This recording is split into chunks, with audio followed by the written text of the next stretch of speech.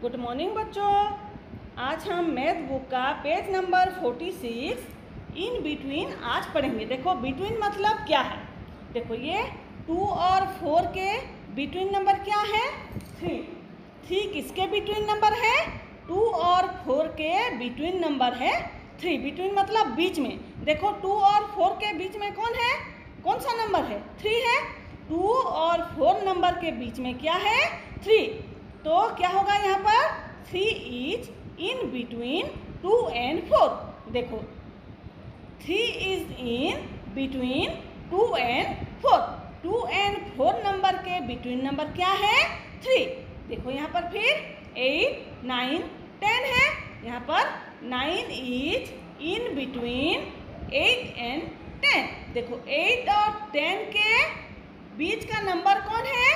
Nine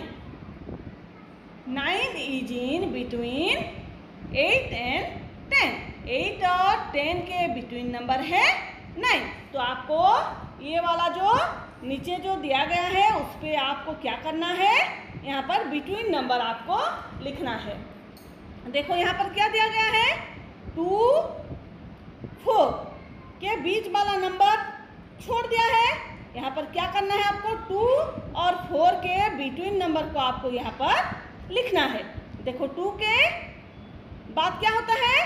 to के बाद होता है three three two and four के बिटवीन नंबर है थ्री देखो, ये क्या है? फाइव सिक्स सेवन तो फाइव और सेवन का बिटवीन नंबर क्या है बच्चों? फाइव और सेवन का बिटवीन नंबर है six one two three one और थ्री के बिटवीन नंबर क्या है? टू आपको ये सब क्या करना है? ये सब लिखना है आपको. सेवन एट नाइन सेवन और नाइन के बिटवीन नंबर क्या है? Eight eight nine ten eight और टेन के बिटवीन नंबर क्या है?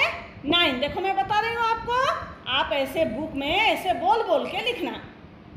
फोर फाइव सिक्स फोर और सिक्स के बिटवीन नंबर फाइव है। Three, four, five, three, four, five, three और फाइव के बिटवीन नंबर क्या है? Four, six, seven, eight. Six और एट के बिटवीन नंबर क्या है? सेवन। पहले ऐसे बोल देना। Two, three, four. तो टू एंड फोर के बिटवीन नंबर आपको आ जाएगा। फिर देखो, यह है फाइव। Six, seven. फिर ऐसे बोल देना। फिर फाइव पॉइंट सेवन के बिटवीन नंबर है सिक्स ऐसे बोल के आपको, ये बुक में आपको बुक वर्क करना है।